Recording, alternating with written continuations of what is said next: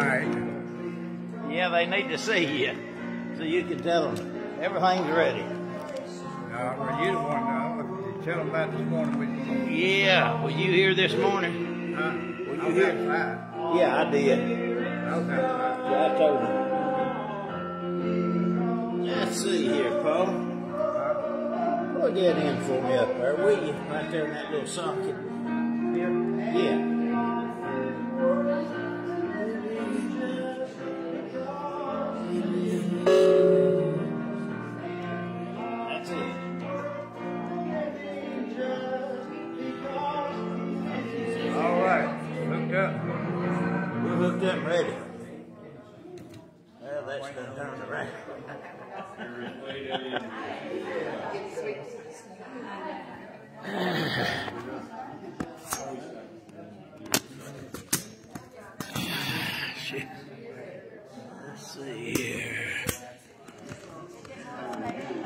noticed that. I noticed that. It did not want to stay up. Now, there we go. Believe we're in good shape. Believe we're in good shape. Okay. Yeah, that would be bad.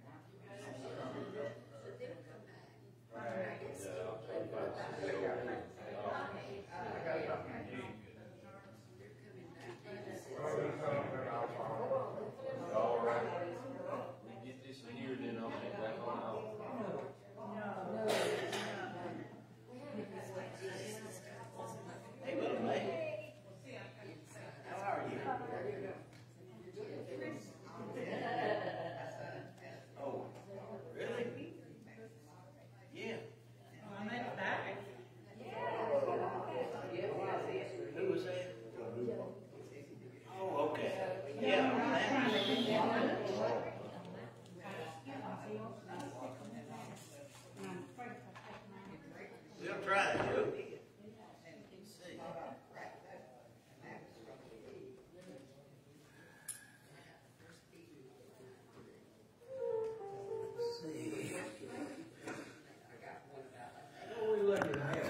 Over around like this. He said I was upside down. I said, what's next? Doesn't want to stay, and then I'm upside down. How's that, Joe?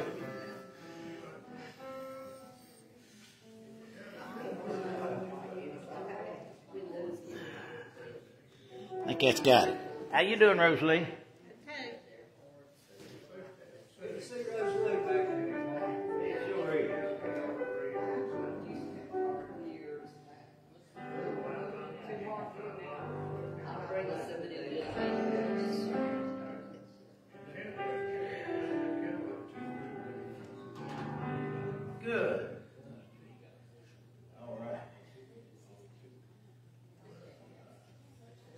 It's about time to get started.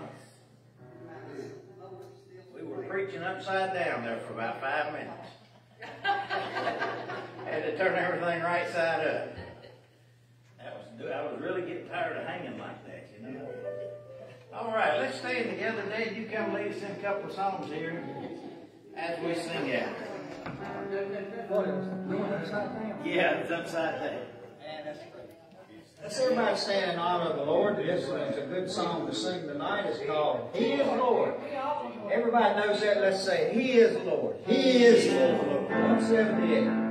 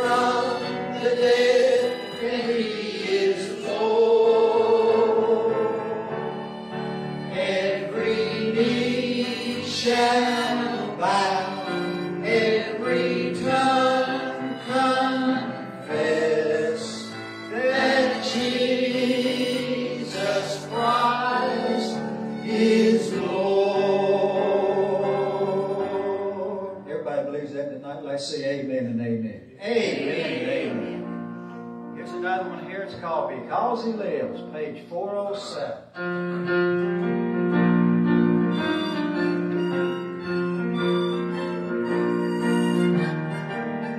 God.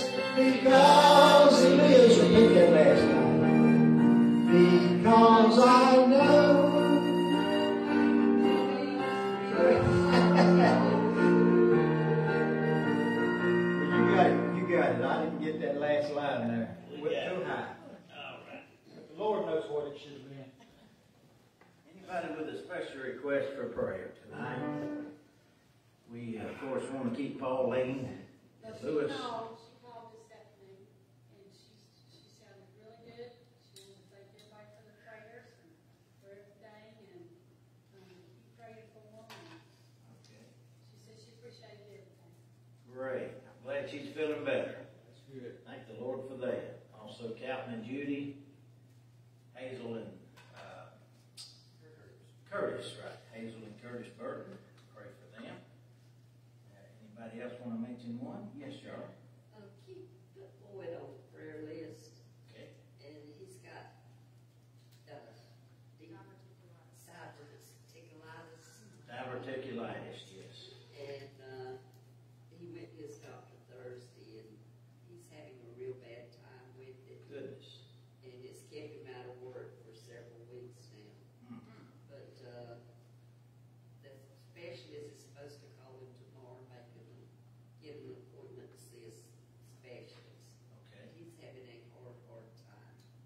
All right. Says, put him on the prayer list and keep him in our prayers. Sure will. Let's keep Boyd in our prayers. He's a fine man. Well, we were down there at the uh, drama the other day. I saw him go by me toward the cookie stand, and uh, he come back with two cookies. He said, "Here, preacher, have one." I said, "I got, I can't turn you down. Let me see that." it was good. It was caramel. But uh, David bought me one last time, and Boyd bought me one this time. So every time I go, I'm in good shape down there. That's for sure. Okay, who else has one you want to mention tonight? Any others? All right. How about unspokens? Let's pray for our singing next Sunday night, Brother Paul's group. Oh, Paul, would you lead us in prayer as we start our service? Heavenly Father, something this morning, we thank you for presence with you back in church again. Yes.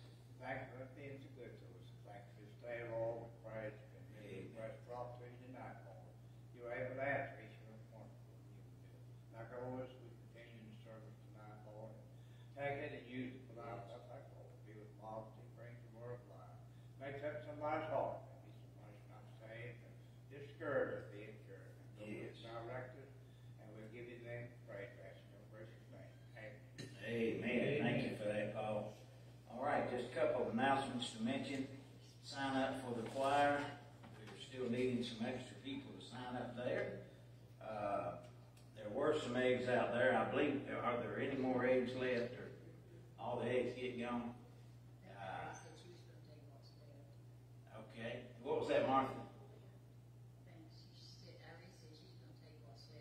Yeah, you go right ahead, Irene. I was gonna say, I had it on my bulletin, I forgot to read it. And uh, Carol brought those in and Bob, so we uh, appreciate them doing that. You go right ahead there. She fixes some of the best cakes you'll ever have with an egg, I can tell you that, Miss Irene. Okay, um, next Sunday night, six o'clock, we've got Straightway coming, and we're looking forward to that. Bring your family and your friends. We're gonna have, uh, how many pizzas we're gonna have, Paul? About fifteen boxes. Father. Fifteen boxes full, okay? So that ought to be enough for everybody to get full next week. We're looking forward to that next week. With Straightway, they'll be singing the whole service. But that's about all the different services we have coming up in the near future. Uh, special services, we'll go ahead and take the offering up here. Randy, you wanna come and, uh, let's see here. Bobby, you wanna come tonight and help us? All right.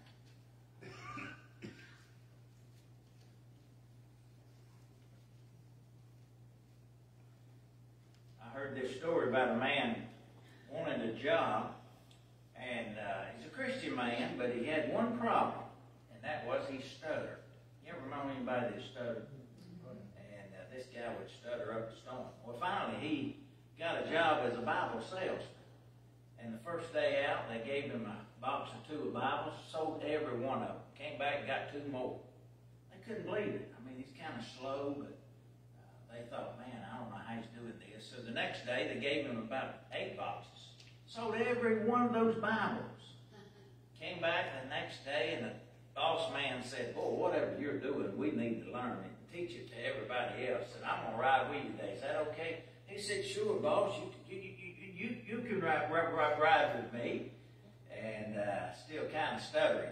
Well, they went to the first door. The man knocked on the door. Lady come to the door, said, can I help you? that man looked there and he said, ma'am, ma'am, ma'am, I'm, I'm, I'm, selling Bible, Bibles.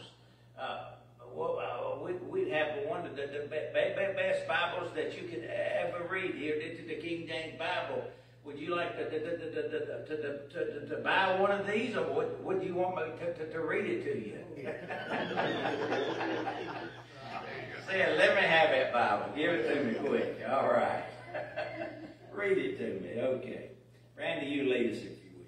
Father in heaven, I do thank you, Lord God, for a good, Christ-honoring, living church, Lord, we can go to, Lord, and always know that we're going to receive what you have for us, Father. Amen. Father, I pray that you just might bring encouragement and strength tonight through the word.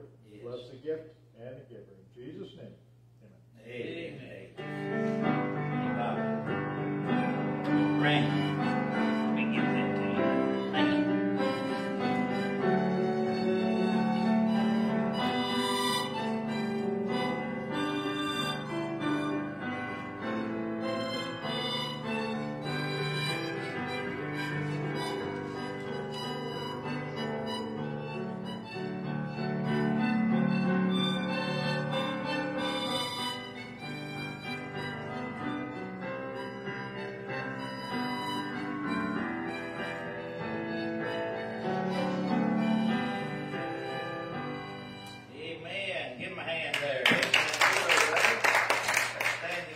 together. We'll sing Amazing Grace. Dad, you come lead us if you will. All right.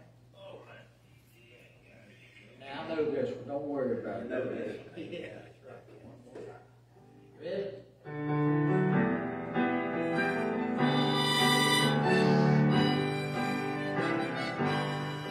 Amazing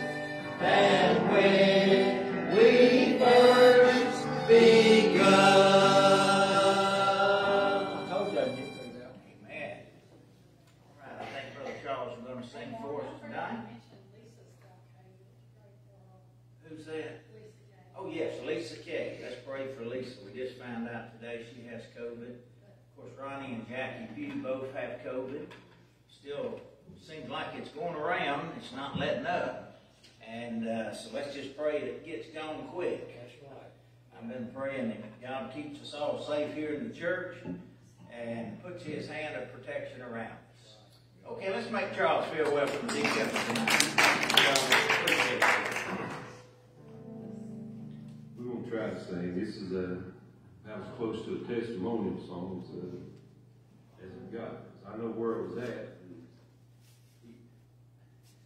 Like I say that, uh, found the Lord, that he wasn't ever lost, it was me. Yes.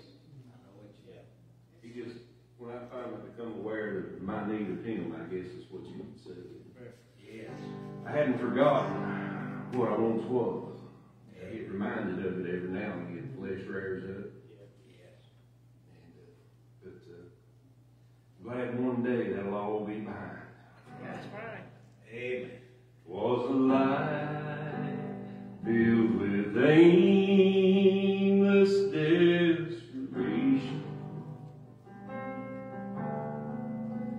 without hope,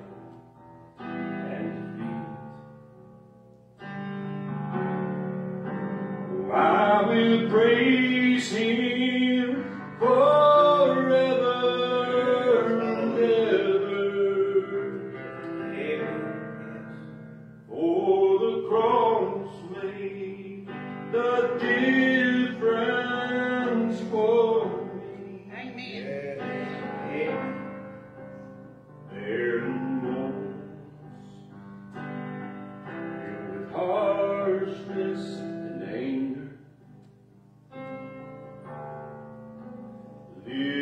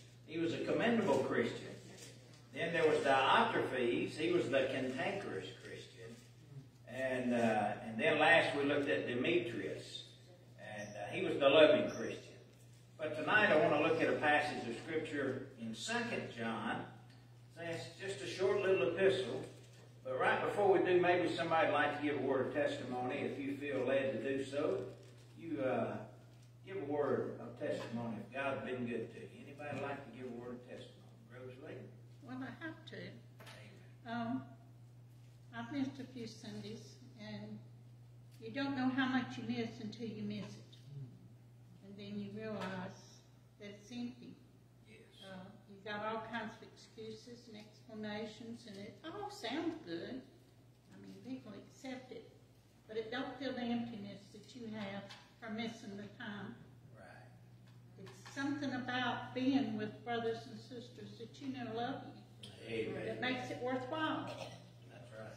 You can go to a concert, go to um, any kind of entertainment, to a movie.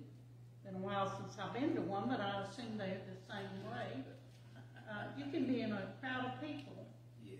If you're not around people that love you, that you love, it's not the same. That's right. You need that. Same way you need that time with Jesus Christ. You know, since I've been gotten older, and don't tell them again how old I am, but since I've gotten older, the time I spend with Jesus Christ is precious. I mean, that's what brings me peace. When people say, well, don't you worry about, no, I don't. I really don't. I have a peace about it. I know whatever happens, it's His will. He's got me. He's taking care of me. And heaven knows I've been through things that would horrify most people. So, I feel like whatever happens, He's got me. I don't have to worry about it. I don't have to be concerned about it. And until you have that peace, until you can feel that serenity, when you look around and everybody is on boppers, and it doesn't really bother you. I mean, you, it's just there. And you know there's somebody else bigger than you are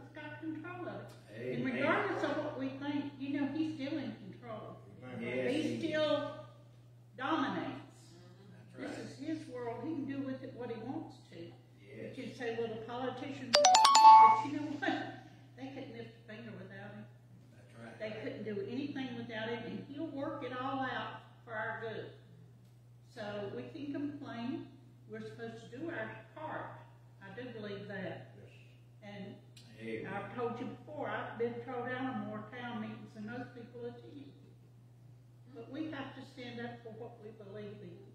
Yes. And when you see things going on in this world that you know is not right, we're supposed to voice our opinion because he put us down here to make this world better, Yeah. not to join the sinners. Right. He made us an example for them. And we're supposed to be that. I know I've given up a lot of what I should be doing lately. But you know something? Still got my mouth, I'm still witness for him. And I intend to do it every chance I get. So, all of you that Bless you, Lord. would have a doubt in your mind about the way to live, I can recommend Jesus Christ every day of the week, twice on Sunday. Yes. It's the way to go. And I know with, I've heard some real good preaching Mr. Layton, before he died, heard several of his sermons, had private conversations with him. And you know what? The greatest preachers need that peace, just like we did. Yes. God's not partial. He's no respecter of persons. He gives us the same thing he gives them. So if you want it, all you have to do is ask for it. He says, you have not because you ask not. So ask. You pray enough, you think enough, and spend enough time with him, and you get a feeling that I can't even begin to describe. So that when you kneel, that private time with him is precious. Amen. And then when you come into a church and can feel it, better hang on to it, because there's not many churches anymore that have it. I love him and I want y'all to know much as I love you. Amen. Bless you, Lord. Yes, Jim. That was good preaching. Amen. Even if you are one, hallelujah. You know, He I, noticed. He did. hallelujah. You know, I, I came to this church and I'm not used to this. I'm used to camp meetings and I'm used to praising the Lord. But I, I thought of something and we need to think about it too. Now, everybody here is supposed to be saved, right? That's it. Amen. Amen. But when you come to church, you're dead. Mm-hmm. Amen. Yeah, we all You're dead. comfortable with it. You're supposed to raise your hand. You're supposed to clap your hands. You say, praise the Lord. I mean, when he sang that special, I mean, it broke my heart. Yes. Hallelujah. Just because somebody sings a special about Jesus and, and the songs about, about Jesus himself, amen, and, and we just sit here and do nothing. Yeah. We don't have to be judged on that. Yeah. We need to shout out, man, just Amen. praise God. We got That's the truth, visitors that's the Coming truth. in, they see you're dead. Shout it out. I remember when I was in high school, I got kicked out for fighting and I had to go to Catholic school for a year. And I had to take catechism. And I laughed all the way through that. Man, this, you could hear a pin drop. I mean, it's nothing. We're not Catholic. Right. We're born again believers. Amen. We got it in our heart, amen. And we need to it. let people know about it. Yes, Amen. sir. Let Jesus know about That's right, brother. it. Hallelujah. You'd be surprised how fast you'll grow when you start praising the Lord. That's the Amen. truth. That's the truth. That's right. Amen. Don't just sit there. That's the truth. Mm. Do something for God when you're here. Amen. Amen. You That's know, the reason, that's the reason I, when I sing, I look at you, you, you, you give me, you give me hope. You really do. You'll see You amen know- stuff like that. what he says is true because Jesus said, if I be lifted up, I'll draw all men unto me. Amen. And uh, I know we work and we invite and we do things to try to get people to come, but when we just lift Jesus up, people are drawn to that. Like I said, people Amen. want to be uh, following a group of people that really love Christ and exalt Him because He's the only one we really need to exalt.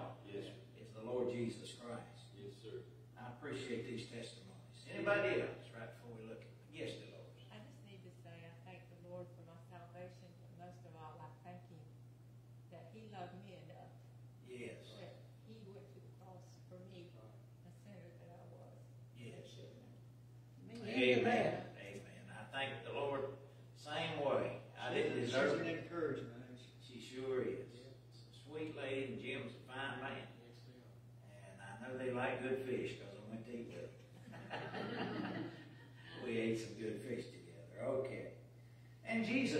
fish with his disciples, didn't he? Very All right.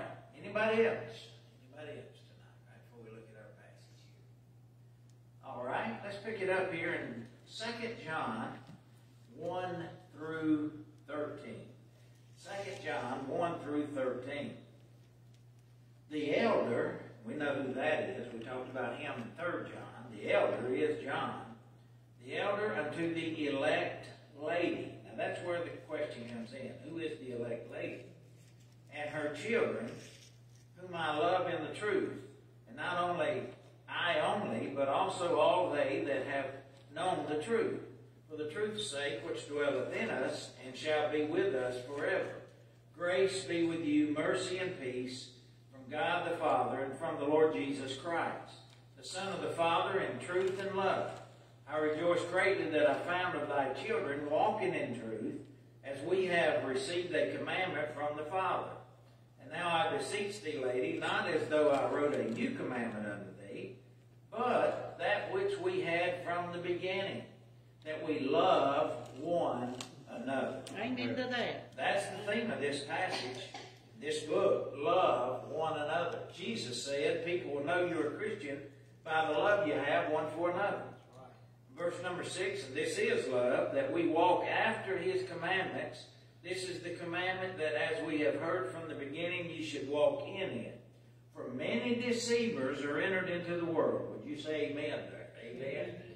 A lot of deceivers out there who confess not that Jesus Christ is come in the flesh.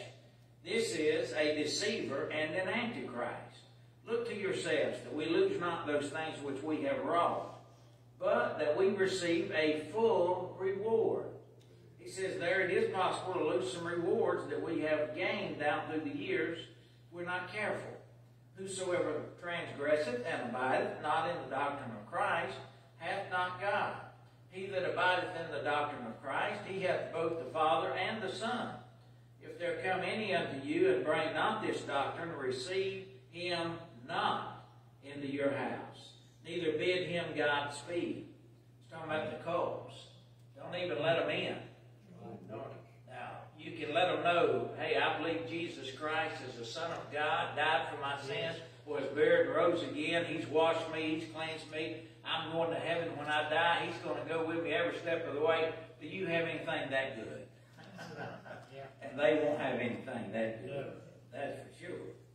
But he says there, don't even receive them into the house. Don't let them have God's speed. Notice verse 11. For he that biddeth him Godspeed is partaker of his evil deeds. Having many things to write unto you, I would not write with paper and ink, but I trust to come unto you speak face to face, that our joy may be full. That says, The children of thine elect sister greet thee. Amen. So let's go to the Lord in prayer. Love in the truth is the title. Love in the truth. We have to have love, but we have to have truth. They go together. Father, we thank you for this time of worship. Thank you for Sunday night service. We can come together. We can hear the singing of your word. We can hear the preaching of your word and just relax and enjoy a good evening together worshiping you, Lord. I pray the message will be a help to us, that we'll learn something from a book we hardly ever hear about. But yet, Lord, it's full of rich treasure as we study it. We'll see it tonight. Fill us with your Holy Spirit in Jesus' name. Amen. Amen. This second epistle of John may be the most neglected book in the Bible. I've never heard a sermon on it, just like I've never really heard a sermon on Third John. Now you hear many on First John, because there's five chapters there, and you hear many from the Gospel of John in the book of Revelation. He wrote every one of them. But these last two, you don't hear much about. And uh, three words can summarize what the Christian life's all about: our past, our present, and our future. Thank God I know where I came from. Thank God I know why I'm here. And whoo, thank God I know where I'm going. Yeah. I'm going to be with Jesus. And I know you are too if you have trusted Christ as your Savior. Now when we think about the past, what's the cure for the past? Well, we have to have faith. Have to have faith in God. We receive what Jesus did for us on Calvary's cross 2,000 years ago. We have to remember that they whipped him and they scourged him. They put a crown of thorns on him. They put nails in his hands and in his feet. They put a spear in his side. And they cursed him and plucked his beard out. He endured all of that suffering for you and for me. Amen. And he said, Father, forgive them. They know not what they do. Then he said, It is finished. And he gave up the ghost. Woo! Thank God the Yeah. great ransom had been paid on Calvary's cross. And so John writes about that faith in Jesus Christ as the Son of God. In the Gospel of John, he talks especially about it, but he refers to it in this little epistle. So, in the past, we must have faith. In the present, we must live by love. We must live by love. Now, that should be a present attitude. In all three of John's epistles, he writes about love. First John, Second John, Third John. He is the epistle uh, of love. He is the prophet or the apostle of love. And so, when we think about the future, we need to think about hope. We need to think about, hey, he's coming and he might come today. Yeah. If he didn't come today, thank God we'll look for him tomorrow. We ought to have a hope as we look toward the day of the future that Jesus Christ may split that eastern sky. And when he comes back, the dead in Christ rise first. And we who are alive and remain are caught up together with them in the Lord to be with him. And so shall we ever be with the Lord. Amen. Amen. Comfort one another with these words. We haven't seen our loved ones for the last time. If they knew Christ, they are better off than we are, and they wouldn't come back if you gave them a chance. And they're just up there waiting on us. Amen. Right. One day we'll be with them. So when you look back to the past, you must have faith. You look at the present situation, you must have love. Isn't it very easy to let love kind of leak out? Isn't it very easy to get a little bit uh, cantankerous, as we talked about Demetrius? It's, kind of easy to lose our love or let our love wane a little bit or let that fire go out. And we need to rekindle that love one for another and, and for the lost people around us.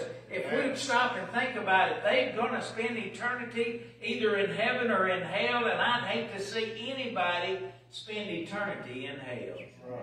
Burning, weeping, crying, never can get out. Oh, a terrible place. All they need is the Lord.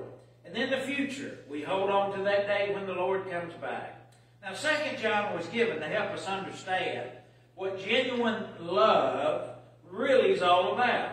When John refers to himself as the elder in verse number one, he's using a term that describes the pastor of the congregation of Ephesus. At one time, he was their pastor. And uh, he's writing here, and he's referring to the elect lady. Look again at verse number one there. The elder unto the elect lady and her children. Now, who is he referring to?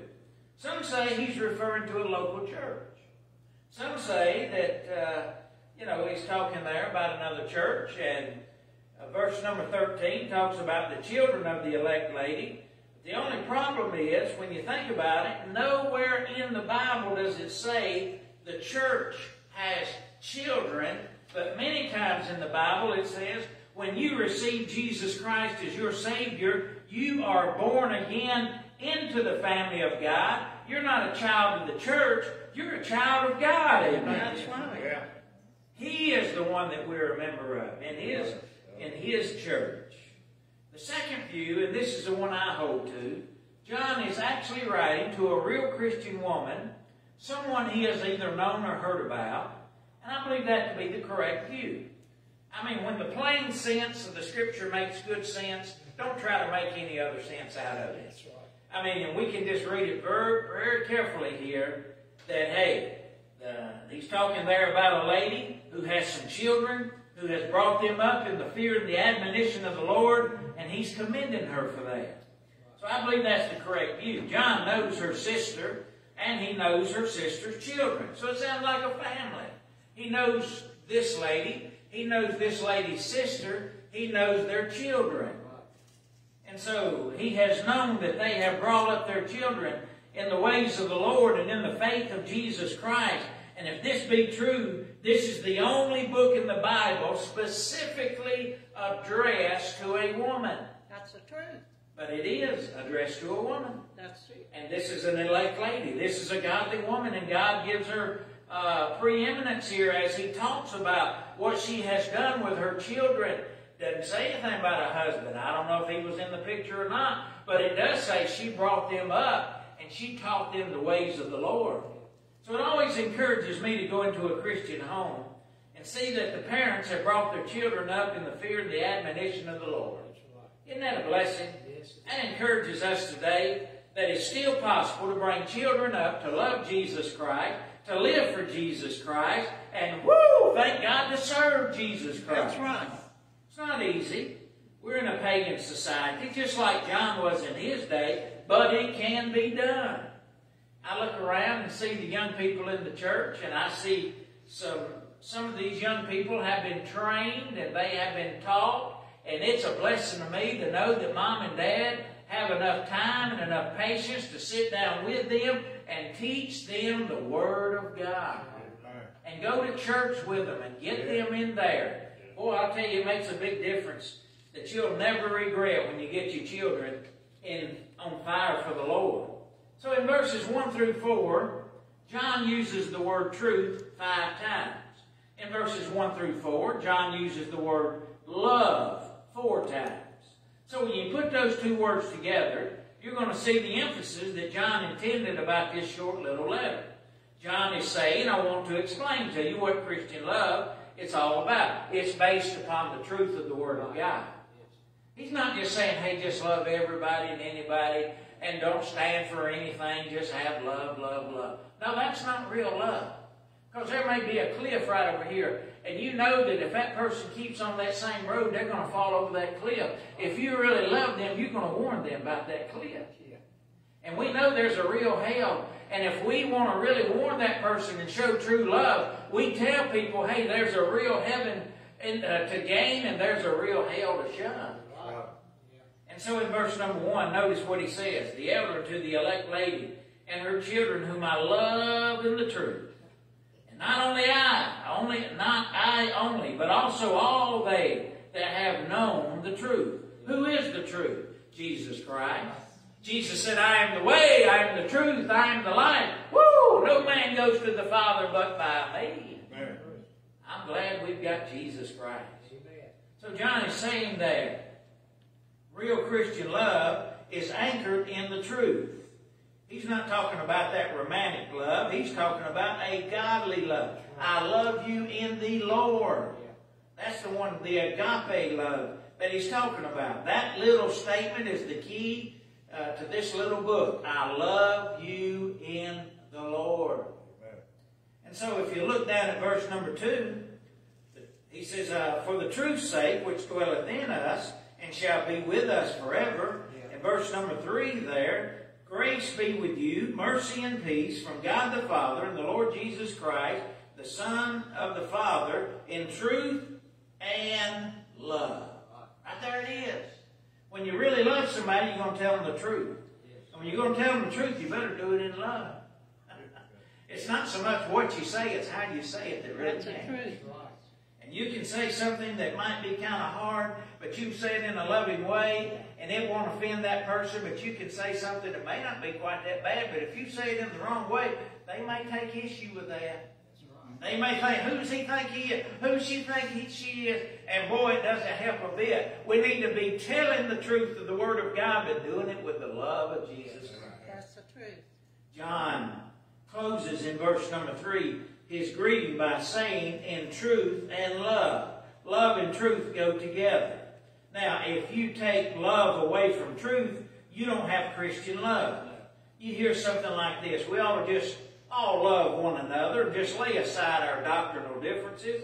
And those things that we believe in Scripture, they're not that important anyway. Oh, yes, they are important. And we're not going to lay them aside just to have love one for another. We're going to stand on the Word of God and stand on the principles of the Word of God and believe in the virgin birth of Jesus Christ, that He was born of a virgin and that He lived a perfect life and He died a vicarious death and He rose from the dead, and thank God, He's coming back again. And this is the Word of God right here, from Genesis to Revelation, all 66 books. Every one of them are God-breathed, inspired of the Lord. Amen. That's what we need to be telling people. Do it in love, but do the truth. Tell the truth. No need to try to cover it up.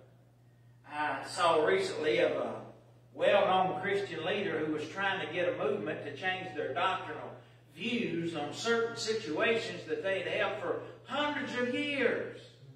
And I thought, don't let him change your mind. He may be popular now, but nobody will know him in 10 years. Stay with the Word of God. Stay with what God says, and you'll never go wrong. Stay with the Word. Don't let people sway you. So, I agree, we ought to have that love. We ought to have that concern. There's too much bickering and division and strife many times today. But it's never right to lay aside our doctrine for love. They, they go together. Yes, sir. You know what Jesus is said about Jesus? He was full of grace and truth. That's it right there. Grace. That means he loved people. That means he went out of his way to heal the blind, the lame, the halt, to raise the dead, to walk on the water, and yet he also preached some sermons that really ruffled some feathers too. That's the truth. And those Pharisees hated him because he exposed their wickedness. I see that real love always operates in the in the sphere of truth, and the whole body of Christian truth is contained in the Bible, and it is completed today. When you get to chapter, uh, the last chapter chapter 22 of Revelation, you see there's some passages there that say, if any man add to this book, I'm going to add the plagues of this book to them. If any man take away from this book, I'll take away their part in the book of life. What's he saying? Man, we got a completed Bible right here. Amen. We got all we need right here. I've seen people come by, the cults, Mormons, Jehovah's Witness, uh, Seventh Day Adventists, all the rest of them. They got their own literature and they got their own way of looking at things. They got their own Bible. And uh, I remember hearing this Mormon tell me that they had a uh, a book that was inspired by an angel by the name of Moroni. And Moroni told Joseph Smith where to dig, and he dug up some golden plates and got some golden glasses and read those words and wrote out the Book of Mormon. And now they don't go by the Bible, they go by the Book of Mormon. And I looked at him and I said, I believe Moroni is nothing but a bunch of baloney. Amen. And I believe that. The Bible talks about adding and taking away from the Word of God. This is the Christian truth. So when John talks about walking in truth and talking in truth, he's referring to the Christian walking in the Word of God, the truth of God. And then notice something else. Truth and love must be practiced. Now, there's two lessons about truth and love. Number one, they have to be practiced. What does it mean to live in the truth? Well, look back at verse number four. I rejoice greatly that I found of thy children walking in truth as we have received a commandment from the Father. The word walking means your lifestyle. That means your behavior as a Christian. What characterizes the life of those who walk in God's truth? It's love. You love to be around somebody that has genuine, godly love in their heart. And you know it, and I know it, and you can pick up on it just like that. But if somebody doesn't have love in their heart and there's a question about it, it almost makes you want to kind of pull away a little bit and say, I better check this out a little bit closer. I want to make sure this person's a believer. I want to make sure they know the same God that I know. What characterizes the life of those that walk in God's truth? It's love. Love and truth must be the characteristic of the lifestyle of the believer. Look at verse number 5. And now I beseech thee, lady, not as though I wrote a new commandment unto thee, that which we had from the beginning, that we love one another. Now when you compare that with 1 John chapter 3, if you want to look over to the left, a book or two there, you see 1st, 2nd, 3rd John. Look back at 1 John and look at chapter number 3. Look at verse number 23. 1 John 3, verse number 23. Talks a little bit about this, and this is his commandment that we should believe on the name of Jesus Christ and love one another as he gave us commandment. Love is a great theme of this book. Love is a great theme of the Bible. And so love must be practiced with truth, with love and truth combined together. To love one another is God's command. Right before Jesus went to the cross. Think about this. He's in the upper room. He gave a new commandment to his disciples. He told them how he wanted them to live. And if you want to turn to it, John again, but this is over in the Gospel of John. It's in John chapter number 13 and verses 34 and 35. John chapter 13, verse 34 and 35, he's giving them a new commandment. Wonder what he'll say. Well, let's pick it up here. John 13, verse 34. A new commandment I give unto you that you love one another. As I have loved you, that ye also love one another. By this shall all men know that ye are my disciples, if ye have love one to another. Amen. That's the answer. Love one another. Jesus even said that's the way that people can know you're a child of God. That's the way people know you're a Christian. That's the badge that identifies us as a believer in a lost world. We have that badge of love in the truth of word of God's word. Amen. Isn't it amazing that God's commanded us to have to love one another? Why is that? Because that old nature doesn't like to love. We got the old nature, we got the new nature. The old nature tries to get us to do the old things. The new nature tries to get us to live for Christ.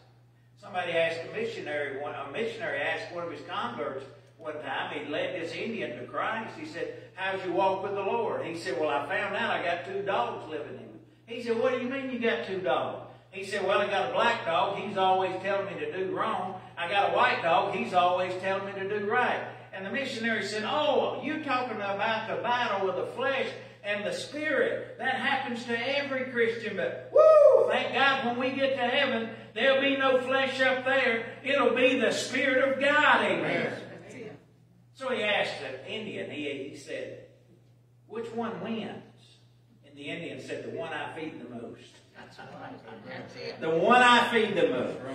If I'm feeding him the Word of God, if I'm feeding him the services of the church, if I'm feeding him on my knees praying to God, he's going to win every time. Amen. It's amazing. Why do we call each other brother or sister? I'll tell you why, because we're in a family. We're in the family of God.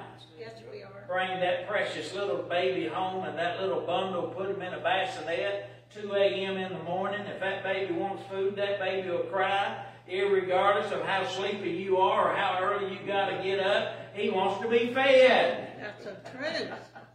So you know what we have to do with little babies in Christ? Be, be very patient with them. Try to help them. Try to feed them the Word of God. Try to pull them up to the Lord. When you get down to the nitty gritty, it's hard to love people, but God can help us do it. That's it. Somebody said this. To dwell above with the saints we love, well, that will be glory. But to dwell below with the saints we know, well, that's another story. Have you found that to be the case? Sometimes it's not quite as easy as we think. When Jesus spoke these words, his disciples had been fussing about who was going to be the greatest in the kingdom of God. And so they're mad, and when it came time to perform the common courtesy of washing their feet in John chapter number 13, not a one of them volunteered. Jesus himself had to get down and wash their feet. But he did it. He showed love. What is love? Love is walking after God's commandments. Love is more than just words. It's action. Real love is a choice, not just an emotion. I choose to love when I choose to obey what God tells me to do. When I'm doing what God wants me to do, I'm loving God. What about people who never come to church? The only way we'll ever reach them is through love. We can jump on them, we can preach to them, we can let them have it, but that's not going to help. But if you show them the love of God and you show them that they would really benefit and how that God would love them and how they would get so much from it, you just don't know what it would do to that person.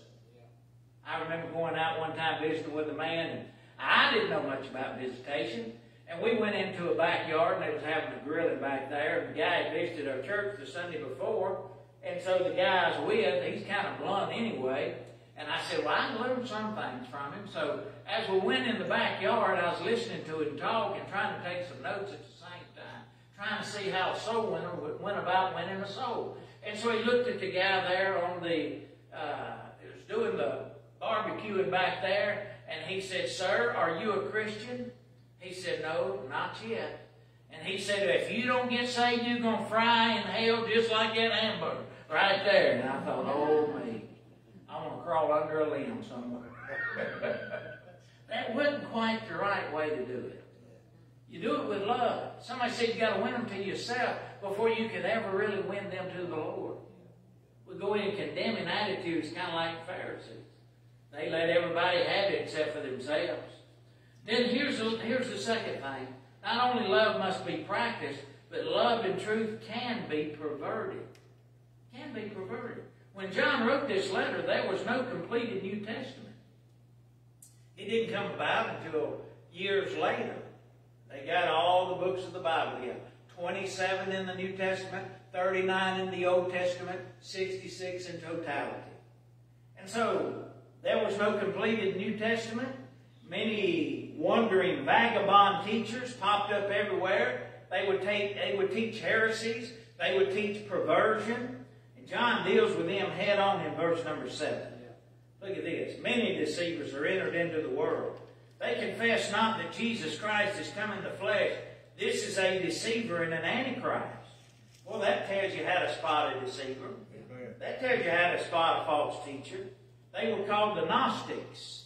The Gnostics did not believe in a human body. They believed it was sinful. They believed Jesus would have tainted himself if he would really have had a human body.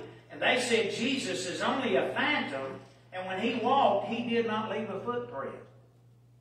And I thought, how ridiculous is that? When he looked at those people and he told old uh, Thomas, he said, Thomas, stick your finger in the hole. Stick your hand in my side. He wasn't talking about a ghost. He was talking about a body. Amen. He has a body. That's a kind of an example of what these cults will do. The question to ask every time is this. Is Jesus Christ 100% God? If they say anything other than yes, He is 100% God, turn around and walk off. Because they're not in the truth. Jesus said in John 1.14, and the world, uh, the Word was made flesh, or John said in John 1.14, the Word was made flesh and dwelt among us, and we beheld His glory as the only begotten Son of God. Amen. Jesus Christ was the God man. He was the man God. He was 100% God. He was 100% man. And if somebody denies that He came in the flesh as the Savior of the world, Jesus said they are a deceiver. Very serious. Look at verse 8. Look to yourselves that we lose not those things which we have wrought, but that we receive a full reward. I can still remember trying to warn a young man who was crippled, and he couldn't walk, and he had to, had to be moved around in a wheelchair. And uh, he had some Mormons coming by, and uh, I told him, I said, don't listen to the Mormons. They're here to try to sway you over. You better listen to God and get back in church. And the sad part of it is this. His mama came in there one day and said, well, at least they come by every day and every week and leave him alone because they are trying to help him. I said, no, they're not trying to No. help him. They're feeding him false uh, doctrine. They're telling him Jesus is not God. They're telling him that they got a better way and a new revelation. Don't let him do it. And the last I heard, he fell in with that Mormon church. Broke my heart to see somebody who loved God at one time fall into one of these cults. And what the Bible says is this they could lose their rewards by that. If you look down at verse number 9, the word transgression means to go forth or go beyond. Whosoever transgresseth and abideth not in the doctrine of Christ hath not God. He that abideth in the doctrine of Christ, uh, he hath been born the Father and of the Son. If If there come any into you and bring not this doctrine, receive him not into your house. Don't even bid him Godspeed, for he that biddeth him Godspeed is a partaker of his evil deeds. Yes. What's he saying there, friends? When they come, you look at them, you can tell them Jesus Christ is my Savior. He's good enough for me, and that's it. Shut the door. Yeah. You don't have to argue with them. That's You don't have to fuss with them. And if they get that answer enough, they might start thinking, maybe they're right. Yeah, right. Maybe they're right. And so, that's what he said. A, cer- a person needs to be born again. And the only way they can be born again is by the Spirit of God and hearing the Word of God. Then he goes down in verse number 12 and 13. Having many things to write unto you, I would not write with paper and ink, but I trust to come to you and speak face to face, that our joy may be full. The children of thy elect sister greet thee. Amen. Yes. Aren't you glad you have a Bible that has truth in it, Amen. but it has love in it? Yes. Let us live our lives loving those around us, but holding to the truth of the Word of God. Right. There's a doctrine that says don't preach on the blood of Jesus, don't sing on the blood of Jesus. It's nothing but a slaughterhouse religion. And I want to say it's by the precious blood of Jesus Christ, God's Son, that we're saved. Amen. Amen. Right in the book. Stay in the book. You never go wrong. Yes. Let's bow our heads in prayer. Charles can come up and he can play a hymn of invitation. While he does, maybe you'd say, Preacher, just pray for me. That I'll have love, but I'll stand for the truth. I'll do what God would have me to do. Just pray for me. I'll be glad. Anyone like that, you'd slip a hand up all around the room. Are lifted. Father, you've seen our hands. You know our hearts. Lord, we do need you. We need you in these last days. We know you're coming back, and it may be today, may be tomorrow. We know it could be at any time. But Lord, until you come back, let us go out into this world and share the gospel. Let others know that there is a God in heaven who loves them, who desires to save them, and let us show them that Christian love and that Christian truth. And we'll thank you and praise you in Jesus' name. Amen. Amen. Let's stand on our feet while heads are bowed and eyes are closed. If you'd like to come around this altar and just pray, you feel free to come. Charles plays softly. Love and the truth. All the truth is the Word of God. But we have to have love when we use it. We have to use that love that Jesus puts in our hearts. He said in Romans, the love of God is shed abroad in our hearts. That simply means that He gives us love. A supernatural, agape love is what He calls it in the Greek language. And so it's a love that man knows nothing about without God. It's an unconditional love. And thank God for that precious love.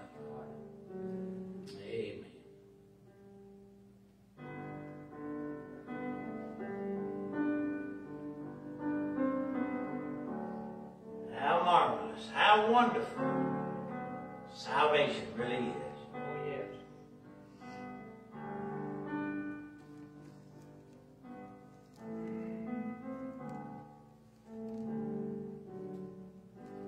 You're glad you have a God that loves you and also gave you the truth of the Word of God to show you the right way to walk. Let's give him a big amen. Ready? Amen. Thank God for that. Well, I hope you have a great week this week. And uh, Dad, won't you dismiss us in prayer over here? Kind Father, we do thank you for this opportunity to come and worship you in truth and spirit. Yes. Thank you for your word. And may we take it and tell someone else about it, maybe to draw them closer to you. And you'd be worth it all. For we ask in Jesus' name. Amen.